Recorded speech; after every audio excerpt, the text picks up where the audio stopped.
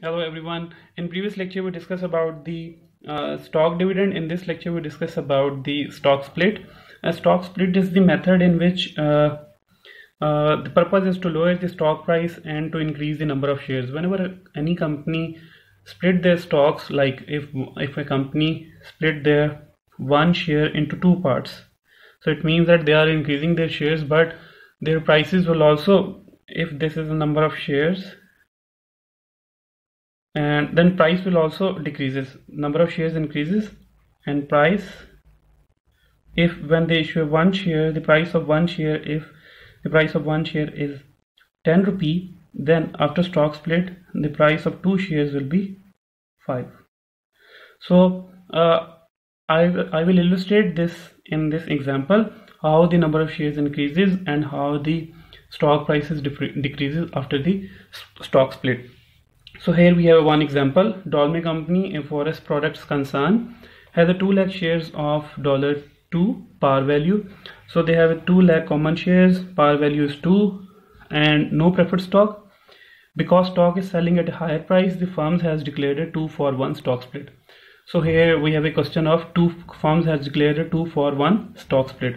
So here requirement is what will be the change in balance sheet uh, after 2 for 1 stock split so two for one stock split mean we are we are splitting one share into a two shares. So here we have a uh, balance sheet before uh, stock split and here we will calculate a effect in balance sheet after two for one stock split. So let's see what will be the change in balance sheet after two for one stock split. So here common stock is 4 lakh paid in capital is uh, 40 lakh and retained earning is 20 lakh and the total stockholders equity sum of these three is equal to 6400,000 as 64 lakh. So after stock split there will be just one change in uh, in, in this balance sheet. Like after stock split these 2 lakh shares will become 4 lakh. How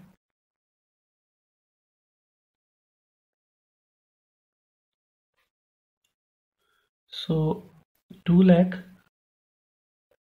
shares multiply by 2 that's how we can calculate a new number of shares because we now split one share into two parts.